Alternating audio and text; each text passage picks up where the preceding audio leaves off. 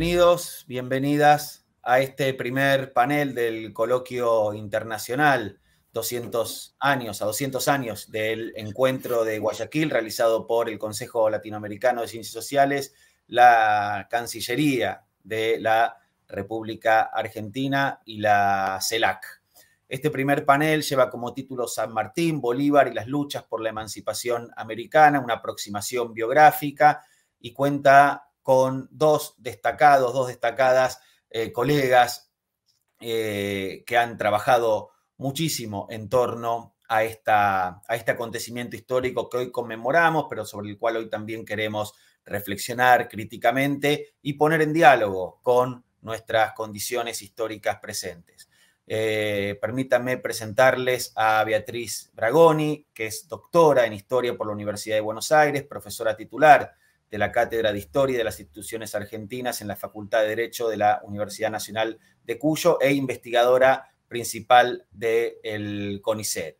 Beatriz eh, es autora de un libro extraordinario, San Martín, una biografía política del Libertador, que estoy presentando aquí, y acaba de ser incorporada como miembro de número de la Academia Nacional de Historia. Eh, Beatriz, Queríamos, eh, bueno, saludarte, agradecer tu participación. Estás en Mendoza ahora. Sí, ¿qué tal? Buenos días y muchísimas gracias por convocarme para este magnífico panel junto con Sergio. Eh, así que bueno, Nicolás, la verdad muy, muy entusiasmada con la actividad. Bueno, Muchas gracias, Beatriz. Si me permitís, presento a Sergio, Sergio Rodríguez Gelfesten, que es consultor y analista político, graduado en Relaciones Internacionales de la eh, UCB, magíster en Relaciones Internacionales de la misma Casa de Estudios y doctor en Estudios Políticos por la Universidad de los Andes.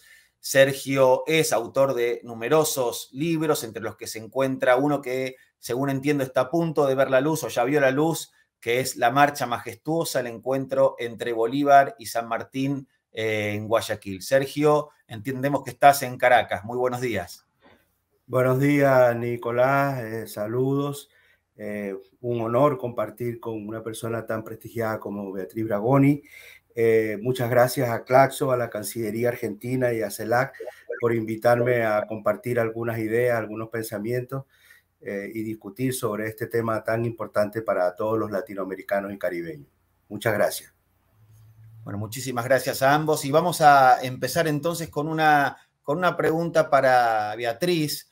Eh, Beatriz, bueno, estamos conmemorando los 200 años del encuentro de Guayaquil, pero para que ese encuentro se produjera y en las condiciones en que se produjo, en las que tuvo lugar, ¿qué, antecedentes, qué esos, ¿no? ¿Qué, elementos son importantes tener en cuenta, eh, poner sobre la mesa, compartir en torno a las condiciones previas, al punto, al punto cero, diría, ¿no? De ese encuentro. ¿Cómo, cómo llegan eh, Bolívar, cómo llega a San Martín, cuáles son las condiciones históricas que están eh, en juego en ese momento previo al encuentro eh, que conmemoramos hoy. Bueno, bueno es, muy importante tener en cuenta esos puntos de partida, porque el encuentro que, que conmemoramos es la única vez que San Martín y Bolívar se vieron cara a cara y conversaron en, privado, diríamos, ¿no? Y eso obedece a que el proceso de la revolución, eh, las guerras de revolución, como las llamaba Bolívar, que se habían iniciado, ¿no es cierto?, casi una década atrás en el, subcontinente, eh, estaban, diríamos, eh, habían habido como dos grandes polos de acción de esas guerras revolucionarias. Por una parte Caracas y por otra parte Buenos Aires, ¿no? Y eh, em, hacia 1815, la única revolución que había sobrevivido a la marea contrarrevolucionaria había sido justamente el centro porteño, ¿no? la revolución rioplatense.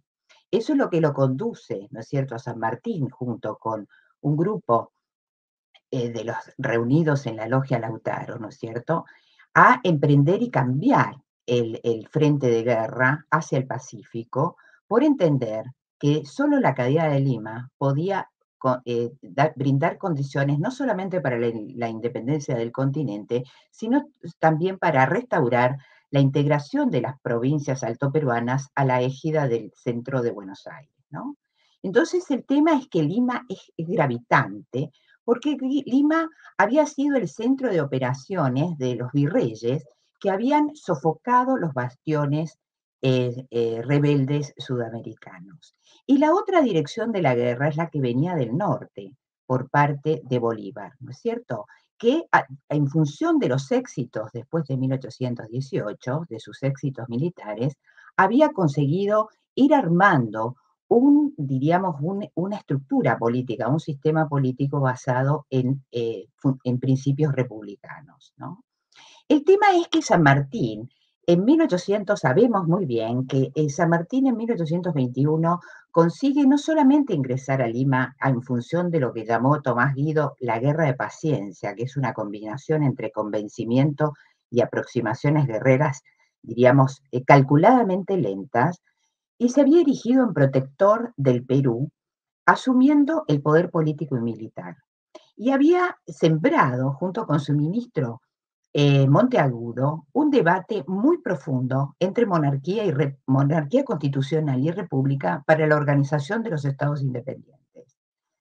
En este contexto, cuando San Martín se convierte en protector de los pueblos libres del Perú, es que las fuerzas bolivarianas van avanzando desde el norte sobre un punto que es muy delicado, sobre un territorio soberano que es muy delicado, que fue Guayaquil. Porque Quito, desde 1809, que había sido sofocada por las fuerzas del virrey Abascal, se mantenía realista. Y el acecho progresivo de las fuerzas bolivarianas que terminan en la batalla primero de Pichincha, que se celebraron los 200 años el 24 de mayo pasado, eh, y de que abre la puerta a otra victoria, que es la de Carabobo, lo coloca a Bolívar como el gran actor, el gran actor de la independencia en esos parajes y que por una parte le permite controlar Quito y también anexar Guayaquil.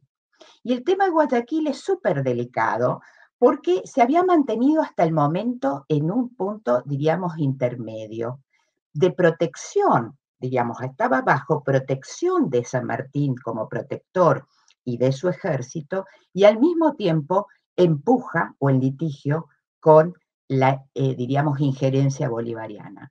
Y es eso lo que explica por qué San Martín entendió que tenía que conversar con Bolívar. Y hace un primer intento que eh, justamente cuando va eh, está llegando a Guayaquil, se da cuenta que, que, no es el momento oportuno para conversar con, con Simón Bolívar y regresa.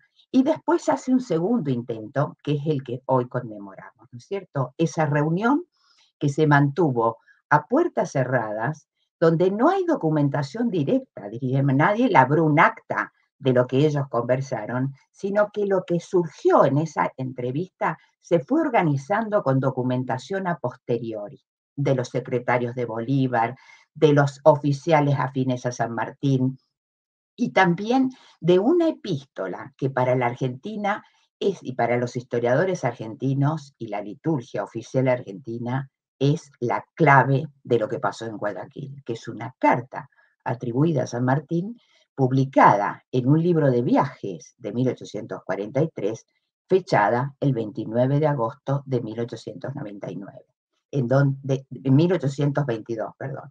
Y ahí justamente hay una, una evidencia que entra en colisión con otras evidencias. Y lo que hoy, por lo menos, la historiografía hispanoamericana, en, de, todas sus, sus, eh, sus variantes, eh, se puede convenir, es que lo que eh, se conversó en Guayaquil tiene que ver con cuestiones militares, la dificultad de unificar las tropas, ¿no es cierto?, con procedencias territoriales muy distintas. Eh, Tomás Guido lo dijo en 1866, ambos generales no cabían en un mismo teatro militar. Y la otra conversación que, eh, que tuvieron San Martín y Bolívar es eh, en torno a la eh, forma de gobierno que debían tener los nuevos estados independientes. Ambos eran convencidos, luchadores y comprometidos con la causa de América y la independencia de España y la aspiración de colocar en un plano de igualdad América y la vieja Europa, ¿no es cierto? Pero diferían en la forma de gobierno que cada Estado debía tener. Eh, San Martín, junto con su círculo como Monteagudo, Juan García del Río y también eventualmente eh, O'Higgins y otros, calculaban que la monarquía constitucional era el artefacto adecuado para gobernar los pueblos americanos, eh, porque lo que permitía era frenar la anarquía y sobre todo dotar de estabilidad la cúspide política.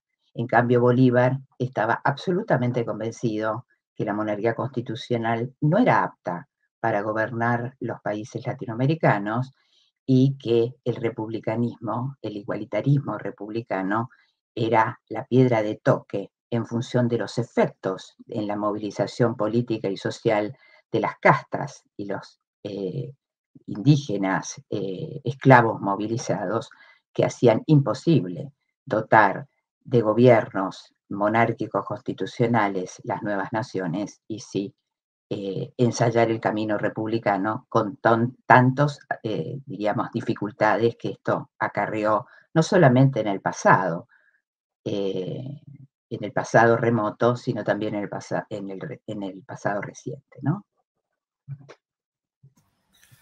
Muchísimas gracias, Beatriz. Bueno, como, como, siempre, la historia no, no sigue el curso, el curso, un curso lineal, sino que es este, un terreno de, de complejidades, de coyunturas, de, de, diferentes proyectos, como vos enfatizabas, políticos, eh, que se ponen sobre, sobre la mesa. Y en ese sentido, eh, Sergio, ¿cómo, cómo, cómo ves tú las condiciones en las que se produjo ese, ese encuentro del cual hoy conmemoramos 200 años y qué, qué claves de lectura podrías compartir con nosotros, con nosotras, para poder, bueno, meternos un poco en esa, eh, en, la complejidad, como decía Beatriz, de un encuentro del cual no hay o no se, no se produjo una documentación directa, sino que todo lo que nos llega es a través de interpósitas personas y por lo tanto no tenemos esa, como sí quizás en otros acontecimientos históricos, una, una materia, una fuente primaria que nos permita acceder a, las, a las, claves directas de ese acontecimiento.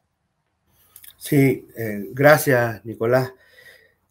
Sí, mira, sí, primero tengo que decir que yo no soy historiador, entonces la perspectiva que voy a dar seguramente es distinta a la de Beatriz. Eh, yo, yo, estudio la, la, historia de la perspectiva de las relaciones internacionales y a mí en particular eh, me interesa la, la, actuación internacional de Bolívar, rescatar el pensamiento internacional eh, de Bolívar. Entonces es un, es un, área muy, muy específica y no cuento con los instrumentos que, que, cuentan los historiadores. Precisamente anoche me reunía con un grupo de historiadores que vinieron a Venezuela de varios países para iniciar hoy en la tarde el coloquio internacional por el bicentenario del encuentro. Y yo le decía que yo cargaba con la culpa de no ser historiador. Entonces, eso, eso me, me genera una cierta eh, dificultad para hacer algunos análisis. Pero visto desde la perspectiva de las relaciones internacionales, indudablemente, y, visto desde la perspectiva del, lenguaje de hoy, tendríamos que decir que esa es la cumbre más importante que se ha producido en la historia de América Latina y el Caribe. La cumbre en la que participaron San Martín eh, y Bolívar, que además de ser grandes militares y generales, en ese momento eran jefes de Estado, los dos. Eh, en el caso de, San Martín, del Perú, eh, y en el caso de, de Bolívar de, Colombia. Em, y lo que, marca, lo que marca este evento es precisamente lo que ustedes han repetido, el hecho de que no hubiera, no hubiera testigos, y eso es lo que ha dado eh, pie a la elucubración, en algunos casos sana, en algunos casos eh, eh, a partir de, de tener ideas, de aportar o de querer buscar una salida, pero en otros casos también poniendo el énfasis en la diferencia. Y ahí es donde yo quiero atacar, ahí es donde yo ataco, ahí es donde yo eh, eh, trabajo. Y me pregunto por qué hay que buscar eh, la diferencia como eje de la reunión y del encuentro de los dos grandes libertadores. Y ahí eh, yo aprovecho mi propia experiencia personal. Yo fui director de Relaciones Internacionales de la Presidencia de Venezuela. Me tocó eh, participar junto al comandante Chávez en muchas reuniones con otros jefes de Estado y sorprendentemente fui testigo de diferencias bastante profundas, por ejemplo, con Lula o, con el propio Fidel Castro. Entonces, alguien podría decir que el eje de, la de las reuniones de Fidel con Chávez era el conflicto, era la diferencia de la que yo viví, la que yo escuché, la que yo vi, porque estamos hablando de dos personas con un, con, un pensamiento filosófico totalmente opuesto. Y esa, esa experiencia personal que me tocó vivir, la, trato de extrapolar al analizar el encuentro entre Bolívar y San Martín. ¿Por qué poner el énfasis? ¿Por qué los historiadores se han preocupado eh, en muchos casos de poner el énfasis en aquello que los difería, en el pensamiento como relataba Beatriz, en el pensamiento eh, a favor de una monarquía constitucional de San Martín, eh, y el pensamiento republicano de Bolívar. ¿Es ese verdaderamente el eje que puede signar la vida de estos dos hombres y, su encuentro? Yo creo que no. Yo creo que, yo creo que finalmente es, totalmente eh, intrascendente. Eh, en el libro que tú mencionabas que está a punto de salir, se va a presentar, se va a presentar mañana, el miércoles aquí en Venezuela y en septiembre en Buenos Aires. yo precisamente lo que trato es de rescatar el aporte que cada uno de esos y buscar aquellos puntos de encuentro entre los dos, entre los dos libertadores. Y para eso creo que es importante eh, eh, rescatar, repito la palabra, rescatar el pasado de cada uno, de dónde vienen.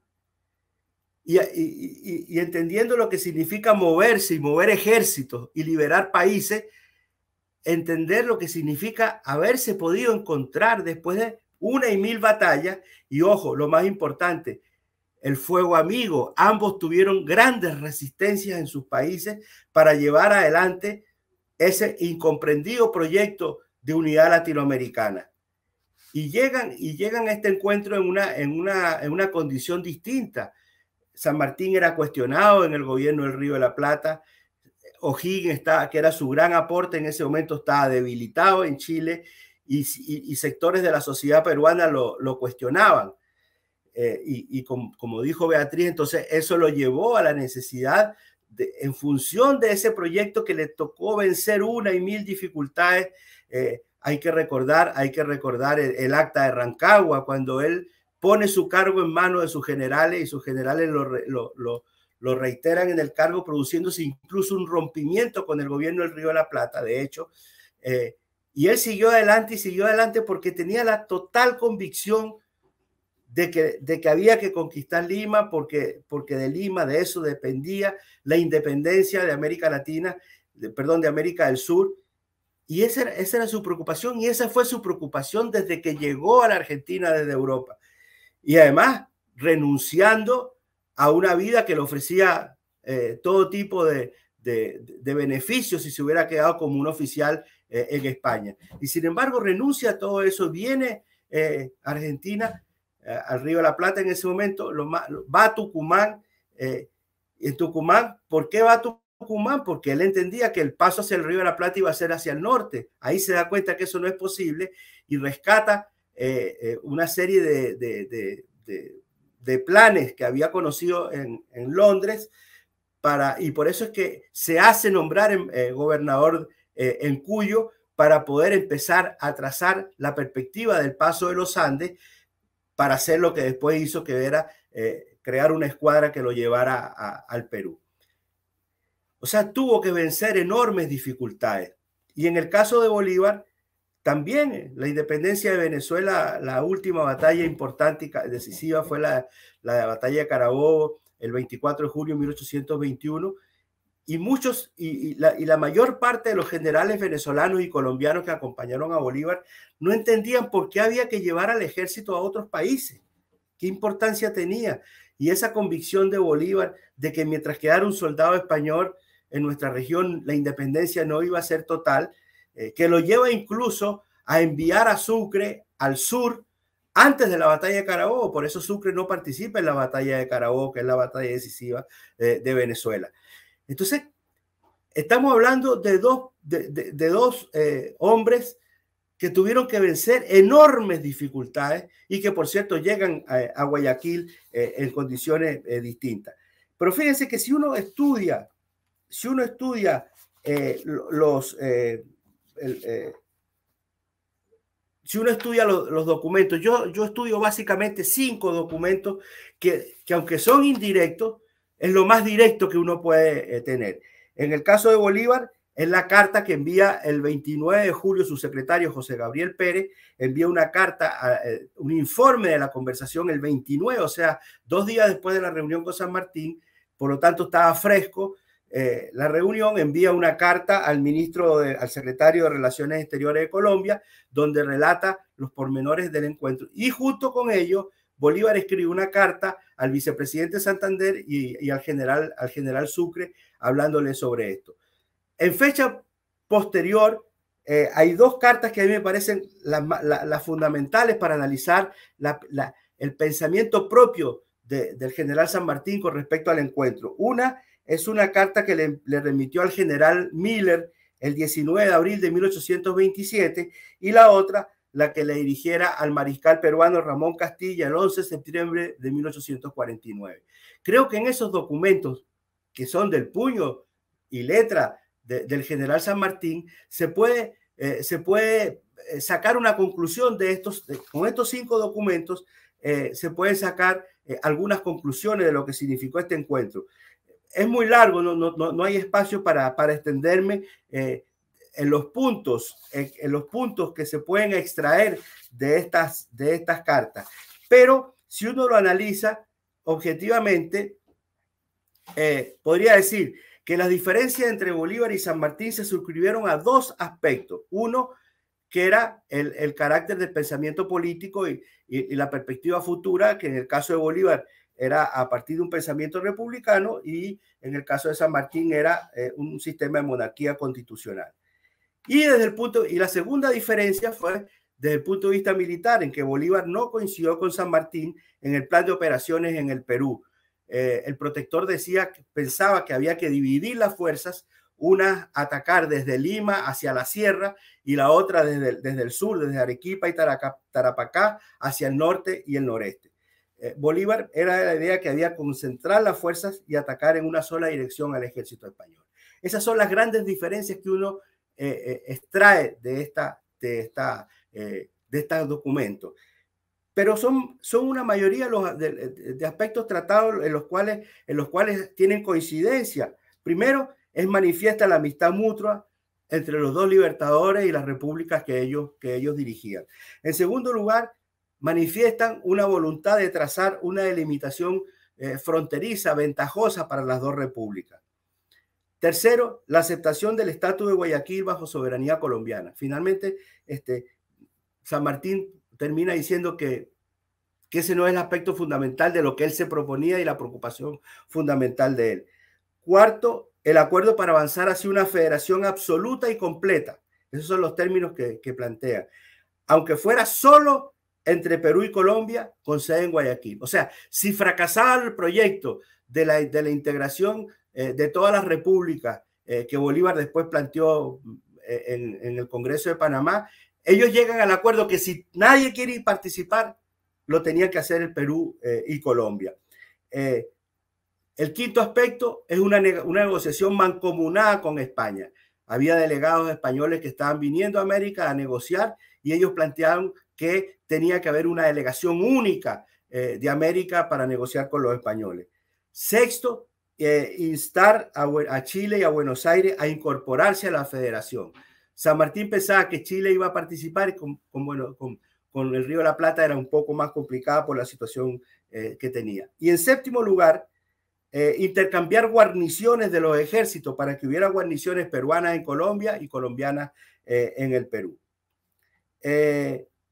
entonces, cuando uno, cuando, cuando uno, cuando uno este, ve que se han producido estas, estas discusiones de Estado cuando se está discutiendo eh, elementos de carácter estratégico que definían el futuro de América del, Sur y eventualmente de toda la América, eh, esas dos diferencias que tuvieron y que finalmente no tuvieron ninguna trascendencia para el futuro de nuestra región, eh, son, yo creo que son, eh, eh, desde el punto de vista del análisis y con respecto a, cualquier colega que piense distinto, yo creo que realmente son, son, son intrascendentes. Y quiero finalizar leyendo unas líneas extraídas de, de mi libro que dice, el encuentro en Guayaquil se inscribe como uno de los más grandes acontecimientos de la historia de las relaciones internacionales del continente. Han pasado 200 años y ni el tiempo ni la distancia pueden obnubilar la grandeza de tal evento. Debieron superar grandes obstáculos para llegar hasta ahí. Ambos hicieron gala de una perseverancia a toda prueba, de una inaudita fuerza de voluntad y convicción para enfrentar y vencer cualquier tipo de inconvenientes que se le presentaran en su extraordinario que se le presentaron en su extraordinario esfuerzo para lograr la libertad e independencia obtenida dos años después en los campos de Ayacucho, en un hecho que los llenó de gloria, a pesar que ninguno de los dos participó directamente en esta batalla que consagraría definitivamente la victoria patriota por la que dieron lo mejor de sus admirables vidas, sembrando con ello la identidad de una América que inexorablemente debe avanzar hacia su integración. Gracias. Muchas gracias, Sergio. Ahí quisiera eh, recuperar una, una, cuestión que se plantea, que es que evidentemente hubo diferencias en, ese encuentro. La cuestión es cómo desde hoy, desde el principio, las podemos eh, valorar, las podemos enmarcar en un proceso histórico que excede, el, que excede y que marca el encuentro que, que conmemoramos. Y también, así como Beatriz dio cuenta de las condiciones que eh, estaban en juego, estaban en marcha cuando se produce el encuentro. Me gustaría ahora preguntarle, Beatriz, cómo continuó la vida de, eh, San Martín, eventualmente la de Bolívar, luego de ese, de ese momento. Es digamos, pararnos ahora en los efectos, ¿no? en los desenlaces que produjo ese encuentro. Beatriz. Bueno, eh, súper interesante.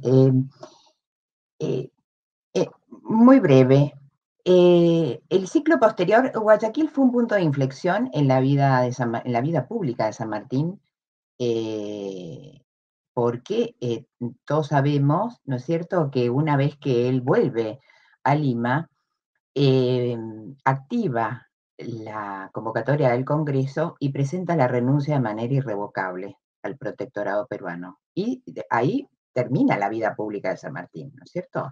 Después de un tiempo, eh, eh, él, eh, después de abandonar Lima y llegar a Valparaíso, está varios meses en Mendoza, en lo que llamó su Tebaida, ¿no es cierto? Y, en el año 23, y sin duda es un momento muy difícil para San Martín, porque su proyecto político está, diríamos, quedó a medio camino, ¿no? Él no concluye la guerra de independencia, como bien dijo Sergio, y eso eh, va a contribuir a una serie, diríamos, lo que se llamaba en su época, y Juan García del Río, ¿no es cierto?, lo definió muy bien cuando estaba en Santiago, ¿no es cierto?, la chismografía eh, de los círculos políticos y también diplomáticos en Europa, ¿no es cierto?, que eh, les llamó la atención su salida intempestiva del escenario político y de la guerra sudamericana después de tanto compromiso y de tanto sacrificio, como señaló Sergio, ¿no? Entonces ahí vemos un perfil de San Martín, diríamos, y, los historiadores, si bien a veces nos, eh, nos endilgan demasiado preciosismo documental, eh, el punto de no, eh, diríamos, extrapolar visiones que son posteriores a lo que es, fue ese personaje político central en las independencias y desprovisto todavía de los bronces ¿no es cierto?, que después iba a ser objeto. Y ahí vemos un San Martín comprometido con su patria, con una patria que es americana, pero que al mismo tiempo reconoció sus, eh, diríamos, eh, los costos que también tiene la política. En relación a eso, también hay que tener en cuenta que en 1820, cuando justamente él encara, em, junto con otros eh, allegados como Guido y otros sectores, diríamos, otros grupos de la División de los Andes que integra la expedición al Perú, es muy importante destacar que el gobierno de las Provincias Unidas, eh, digamos, eh, terminó colapsando en parte porque sus ejércitos no apoyaron al gobierno central. Y no lo apoyaron por la sencilla razón en la guerra, ¿no es cierto?, con los federalistas, y no lo apoyaron concretamente porque diferían en la visión política que tenían de la guerra de independencia, ¿no? entonces, eh, hay, hay una carta muy famosa de Guido que le escribe diciéndole que, iba a tener evidentemente eh, impacto sus decisiones políticas en su reputación patriótica. Eh, por eso es muy interesante la pregunta que vos, Nicolás, haces o, o la que nos invitás a reflexionar, porque justamente en el periodo de ostracismo voluntario de San Martín es cuando empieza a, diríamos, a lidiar con, eh, eh, con la opinión que iban a tener sobre su desempeño, porque eh, ahí, y justamente las dos cartas que señaló Sergio, tanto la de Castilla como la, otras también que, que, escribe en esa época, ¿no es cierto?, ponen en cuestión la imagen que San Martín quiere dejar a, a la posterioridad eh, sobre su desempeño a Miller, que, que le había señalado, ¿no es cierto?, que es del 27, eh, em, la imagen que San Martín va esculpiendo de su propio legado. Es súper interesante, porque en ese contexto entonces es cuando San Martín, y no casualmente por, eh, en función del proceso de revalorización que está teniendo la figura de Bolívar, porque Bolívar muere mucho antes que San Martín, ¿no? En 1830, y San Martín muere en 1850. Entonces, en esos 20 años, el general en el ostracismo cuida sus papeles, ordena su archivo, eh, reúne las reliquias que había acumulado en todo su periplo libertador, recibe a los románticos argentinos que después van a escribir sus historias, recibe a Alberdi, recibe a Sarmiento, recibe a Félix Frías y charla con ellos, ¿no? Charla con ellos porque quien les ha recomendado que reciba a esos jóvenes que andan buscando y andan armando todo un proyecto de identidad y de cultura nacional, quieren hablar con ese, como dijo Sarmiento, con ese monumento viviente de las guerras de independencia. Entonces ahí se produce una alquimia que es eh, formidable desde mi punto de vista, que es cómo el pasado revolucionario empieza a ser rescatado por los jóvenes románticos argentinos en su pelea con Rosas y empiezan a seleccionar rasgos de ese personaje y, por ejemplo, omiten, como hace Alberdi, ¿no es cierto?, el contacto y el vínculo que tuvo San Martín con Rosas. ¿Y para qué lo hacen? Porque necesitan, como todos los estados nacionales, formar una mitología, armar un mito nacional. Y ese mito nacional se termina armando con San Martín todavía viviendo, porque le ayuda su, su larga vida en función, cosa que no le pasa a Bolívar. Y ese proceso justamente tiene que ver con el rescate que está teniendo Bolívar, porque él, digamos, aunque no estuvo en la batalla de Ayacucho, podemos decir, como bien dijo Sergio, pero sí, diríamos, participó hasta el final de la guerra de independencia y e intentó congregar, armar, diríamos, esa, eh, diríamos, esa unidad de esas repúblicas bajo un solo, eh, diríamos, para reunir de vuelta todas esas soberanías territoriales desmembradas que habían salido de la, de la, digamos, del desplome del imperio español, y ahí también Bolívar, más allá de todas las aspiraciones, ¿no es cierto?, de crear confederaciones y ligas, los estados nacionales se terminaron imponiendo y el papel de las relaciones internacionales entonces va a ser importante para reorganizar, para pensar y proyectar una América Latina unificada, ¿no es cierto? Pero ahí San Martín tiene, diríamos, una, eh, encuentra, y, no es porque lo hace deliberadamente, sino porque hay un contexto que va ayudando a tomar decisiones en donde justamente eh, tanto la repatriación de los restos de Napoleón de 1840 y que él está viviendo en París, porque recordemos eso, que su ostracismo lo vive entre París y, y recién en 1848 se muda a Boulogne-sur-Mer porque ha estallado la revolución en, en, Europa, la revolución de los pueblos, ¿no es cierto? Y él no está de acuerdo, diríamos, con esas formas de protesta social y esa inestabilidad que presenta eh, al orden social. Entonces, por eso se abandona París y se radica en Boulogne-sur-Mer y allí muere, ¿no? Entonces, ahí es muy importante en la repatriación de los restos de Napoleón, después del 40, en el marco de la monarquía de Julio, y después, justamente dos años después, y, digamos, y acompañando todo ese ritual funerario, cívico, de desfiles y demás, se produce la de Bolívar a Caracas, ¿no? A instancias también de su, de su familia, sobre todo su hermana, ¿no? Entonces, ahí esos rituales cívicos también ayudan a, a activar esa memoria, a cincelar esa memoria. Y San Martín hace dos cuestiones importantes. Una, labra su testimonio su testamento en donde deja, ¿no es cierto?, lega el sabrecorvo a Rosas, el estandarte de Pizarro al Perú, diríamos, va cerrando el ciclo, ¿no?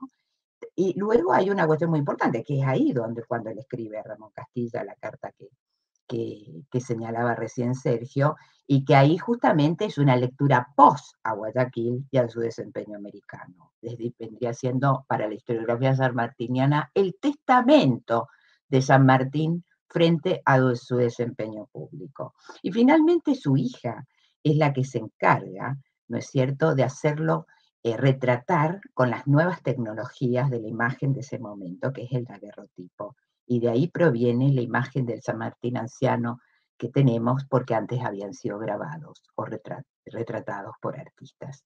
Entonces, eh, la, historia, diríamos, eh, de San Martín post eh, su desempeño estelar, desempeño a favor de la revolución de América y su independencia, no es independiente de la forma, digamos, selectiva que quiso ser recordado y que se terminó convirtiendo, ¿no es cierto? Eh, eh, abonó la imagen, diríamos, heroica que luego encabeza el Panteón Nacional.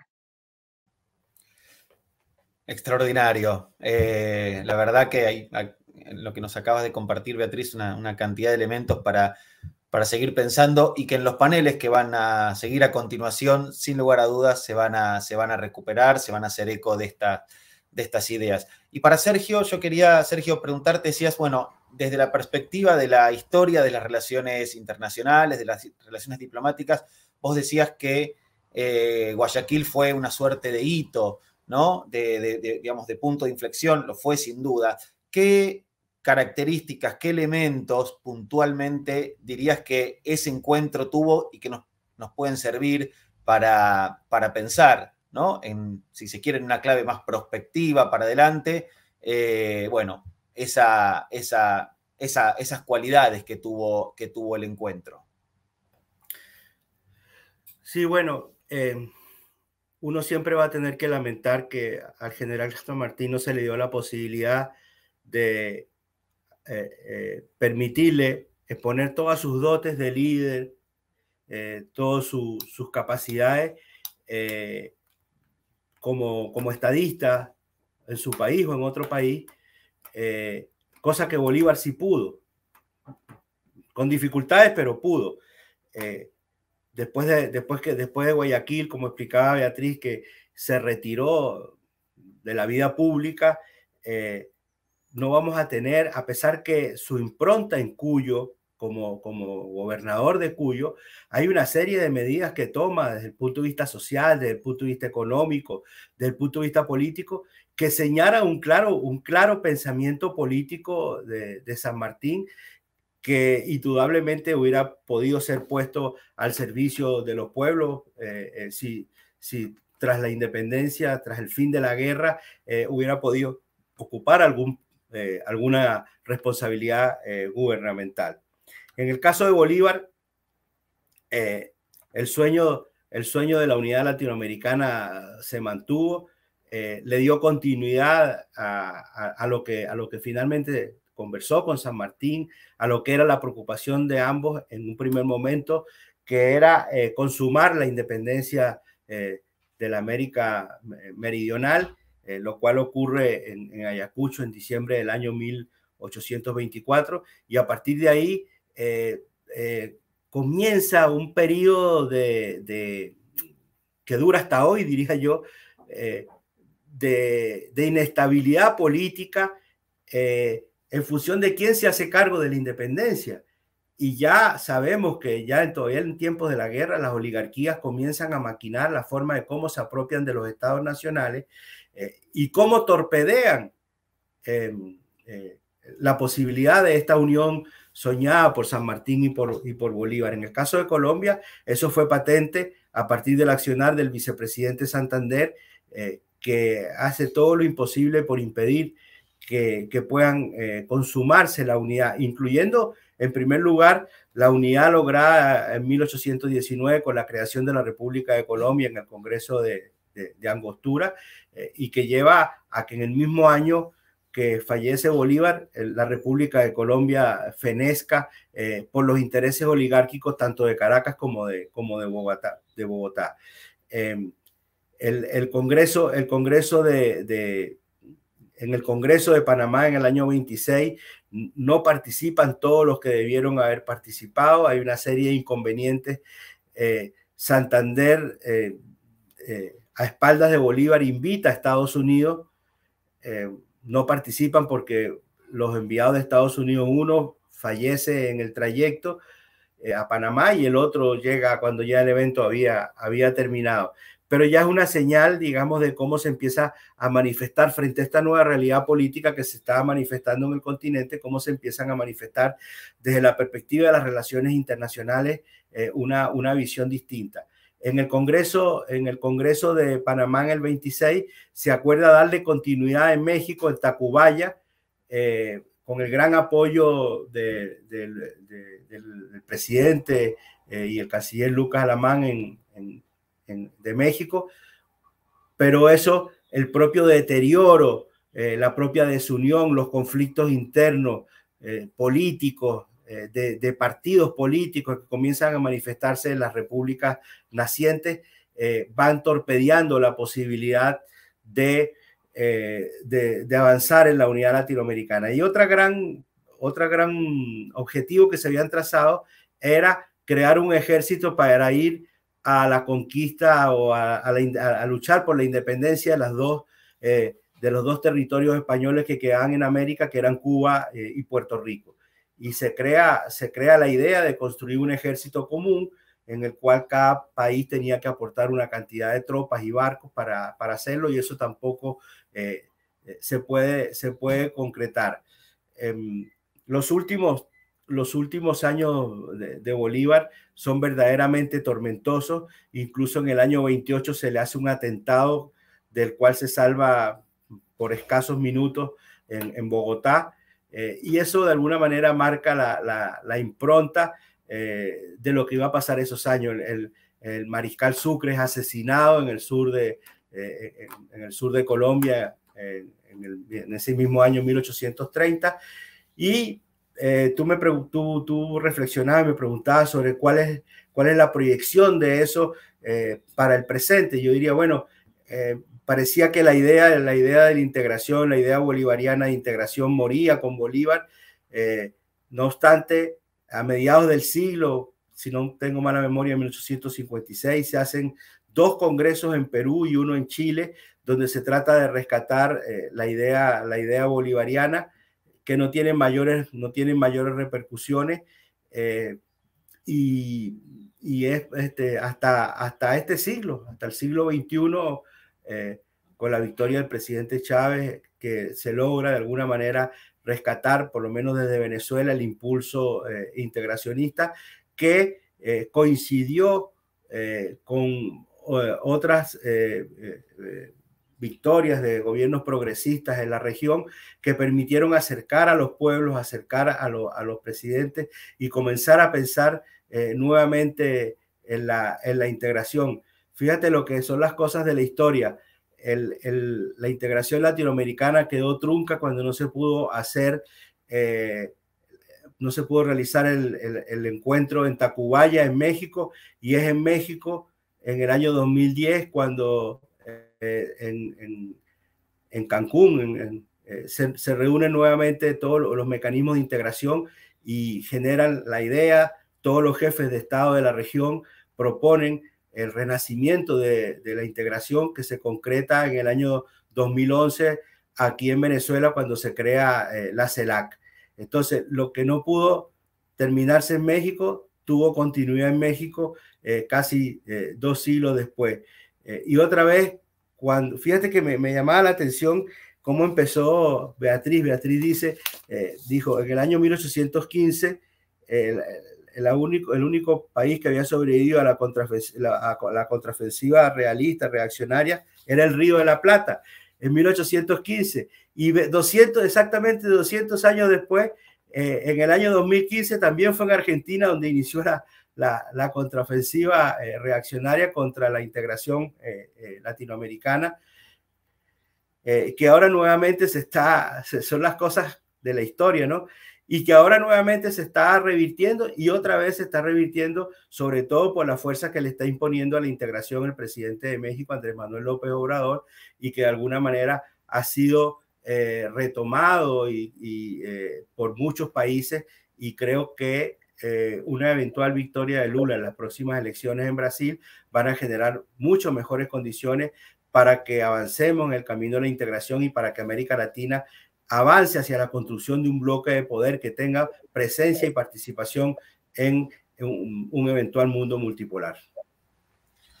Muchísimas gracias, Sergio. Muchísimas gracias, Beatriz, eh, por estas dos extraordinarias intervenciones, en donde, bueno, nos han compartido elementos para que podamos pensar, para que quienes nos están escuchando ahora en este momento podamos, podamos pensar eh, en torno a la importancia, la significación, una significación que como siempre no es cerrada, es abierta, es objeto de puntos de vista diferentes, eh, pero que sin lugar a dudas coinciden ¿no? en, el, en el valor, en la importancia de, eh, de, lo que estamos, de lo que estamos conmemorando, los 200 años del encuentro de Guayaquil, los derroteros de estos dos grandes, enormes personajes de la historia latinoamericana, Bolívar, San Martín, y de lo que todavía significan y, y de lo que todavía, sobre todo, pueden significar para pensar esto último que tú decías, Sergio, y que es lo que a lo que aspiramos todos, desde Claxo trabajamos también cotidianamente, que es pensar formas de integración, formas de unidad eh, latinoamericana, caribeña, para, bueno, construir un mundo, como decías recién, multi, multipolar. Les agradecemos muchísimo y damos ahora paso a eh, una intervención de eh, Luis Mayra, que desde Chile va a estar dándonos una apreciación sobre eh, los 200 años del encuentro de Guayaquil. Muchísimas gracias.